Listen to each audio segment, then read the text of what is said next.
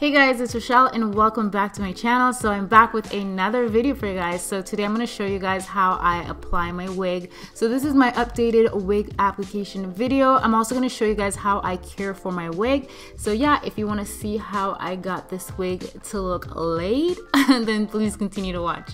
Alright, so before I apply my wig, today I'm going to wash this wig. I've had this wig for about three weeks now. I made it three weeks ago. I didn't film making this. And this is the product that I use to wash all of my wigs. I use Pantene Pro V. Um, I know the shampoo says curl, but this hair's not curly. It doesn't really matter. so I'm just going to apply some shampoo all up in this hair. And I'm just going to run my finger through it, through the water. I'm using like warm water. Hi Simba, my cat is always involved. You know that. All right, so now I'm gonna go in with some Pantene conditioner. I love, love, love this stuff. You guys, this video is not sponsored by Pantene, by the way. I just happen to really love Pantene products when it comes to my wigs. That's all I use in my wigs to wash them. And as for my colorful hair, I don't wash them very frequently because I don't wanna lose the color. I don't want the colors to fade. So I don't, I try not to wash them too frequently. Now, this wig is a wig that I do wear often. So I do wash it probably like every other week week, like only once per week. Um, it depends. Like it depends on how often I wear it, and it depends on how much products I put in the hair. Like if I use a lot of hairspray or a lot of hair serum, then I have to wash it out because when you wash it, it literally bring the hair back to life. By the way, the hair that I'm using is from Westkiss, and I've used their hair before. I really love the hair. I'll put all their hair info in the description bar down below. Alright, so you can let the hair air dry or you can go ahead and blow dry it. I'm using my blow dry to blow her out straight. Uh, this hair is straight hair by the way. This is how it looks when it's blow dry. And then I'm going to go in with some hair serum. I'm using the hair serum by Ion. Sorry, I wasn't able to show the product properly. My camera is out of focus. You guys, I have a new camera and it goes out of focus so much. It's so annoying and I apologize for that. Anyways, I'm taking small sections of hair and I'm to go ahead and use my flat iron and straighten it this flat iron is by Babyliss. I hope I said that correctly. I absolutely love this flat iron. I'll put the link for that in the description bar as well. And it just straightens my hair out so good. And I'm going in with the hot comb just to make it more flat on the top. But I'm going to do this once the wig is on my head as well. So this is her. She's style. Now we're going to move on to wig application. So you're going to need a wig cap. I usually get them from Amazon and this is what it looks like. And it stretches. And I'm going to apply this this wig cap on my head. Now you can get cornrows or you can slick your hair down with a lot of gel, which is what I do because I still don't know how to cornrows and I've been wearing wigs forever. So I slick my hair down with a lot of gel and do two braids. And, and I'm gonna go in with my Got2B Freeze Spray and I'm gonna apply this all over my wig cap because we're gonna be doing that melted ball cap wig method. Um, I personally prefer to do this instead of just applying my wig cap and then throwing my wig on because I feel like you can still see the wig band when I do that and I just prefer this. So it's really just up to you. It's a little bit time consuming, I will say that.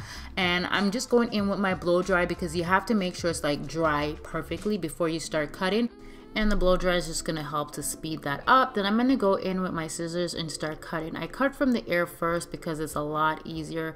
I don't want my wig cap to um, unravel. is that the right word?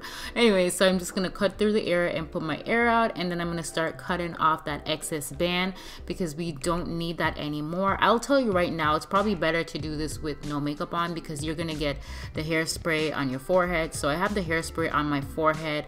Um, when I do my makeup, I try not to put a lot of makeup on my forehead as well because I know I'm gonna put my wig on. So it's probably better to do it before you put on your makeup. And yes, I'm taking a food break. This is how you eat an apple when you have lip gloss on, okay? Alright, so back to cutting off that excess band off the wig cap. So I'm just cutting off the excess band on the back and also on the sides. And after I'm done cutting off the wig cap, I just go back in with the Got2B Freeze Spray just to make sure the edges of the wig cap is laying down nice and flat. And I'm gonna try my wig on just to see how that cap is looking under the wig. Okay, so I'm just trying on the wig just to see how it looks. I know she's looking kind of crazy right now, but I just want to see how it looks with the wig cap and right now I'm loving it. She's looking real good, but we still have some work to do. I'm just gonna go in with some foundation powder. That's my skin tone, and I'm just gonna apply a bit of that onto my wig cap. I don't put it all over the wig cap. I just put it like right at the front of the wig cap. Okay, so the wig cap is looking good. I'm feeling her. and I'm just gonna go ahead and just start combing my hair out of the way. I wanna make sure I get all the little baby hairs and everything out of the way.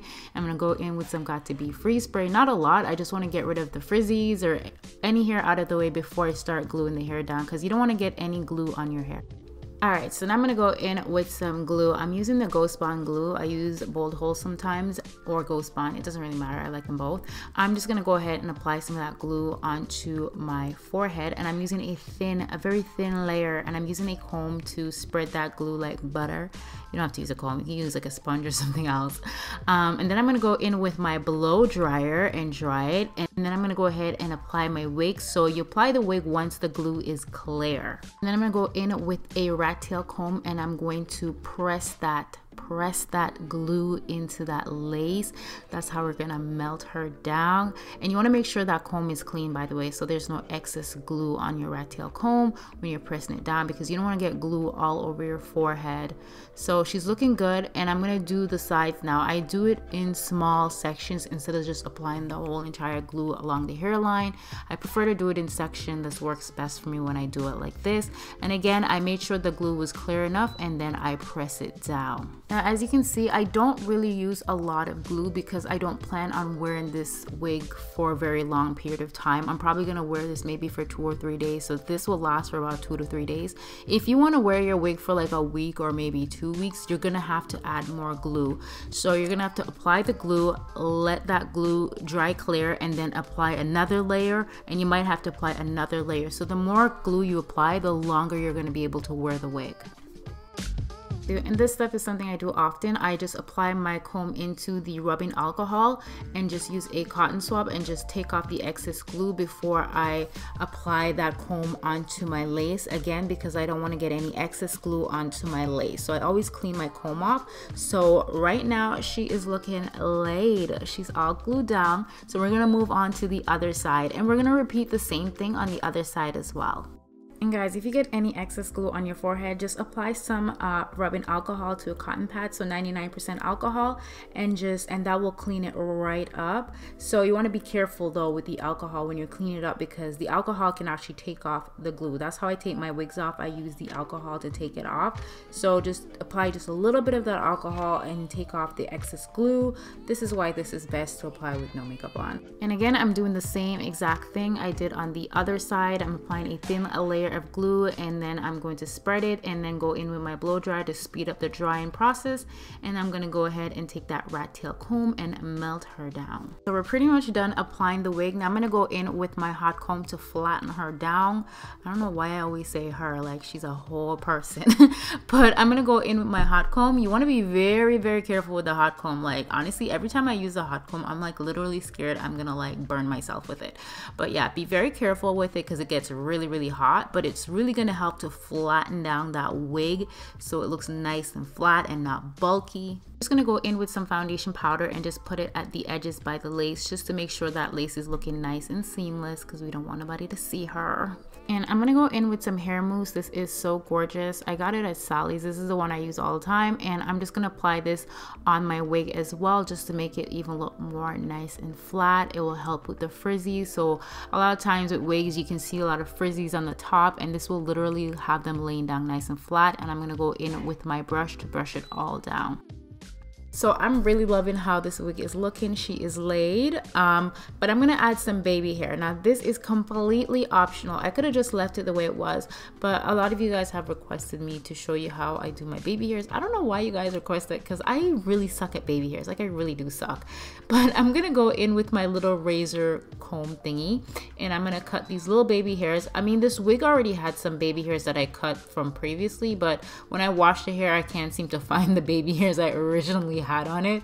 So I had to cut some new ones and I'm gonna go in with my toothbrush and I just use the mousse and just lay the little baby hairs down. I don't like to do too much baby hair because it just doesn't suit me, I don't think. I don't have a lot of baby hairs naturally, so I don't know why I put it on my wig. But if you have it naturally, why not rock it on your wig, right? I like to keep the baby hairs a little bit more on the natural side. Now I'm gonna go ahead and wrap my hair. So I'm using the Wrap It. You can also use a hair scarf to do this. And I'm Just brushing my hair out of the way and then I'm gonna go ahead and tie this down. This will just really melt down the little baby hairs into that lace and just have your lace looking nice, flat and laid, okay? So I'm gonna wrap my hair and I leave this on for like maybe 10, 15 minutes. Um, you could also style it with your hair on it and I'm just gonna cut it off with my little razor and that's pretty much the finished product. Ooh, yes, honey, she is laid. Look at her. So yeah guys, this is pretty much how I lay my wig down. This is how I lay all my colorful wigs down as well. I know I don't show that on camera very often, but that's because the steps are, I don't want to show you guys that step all the time in every single video. But if you guys want me to do that, I will definitely try to. Um, if you don't want to use glue, you can also use the Got2B Freeze spray method. I do have a video on that, how I do that. It's an older video. I should probably do a newer version of that video as well. But yeah, this is my wig. She's laid what do you guys think? Let me know if this video was helpful to you. I hope it was. If it was, please give me a big thumbs up, comment down below, and let me know what you guys want to see next. And I will be back very soon with the colorful hair. I don't know if you guys missed the colorful hair or not, but yeah, I will be back very, very soon. I love you guys so much, and thank you for watching and supporting my channel. Bye!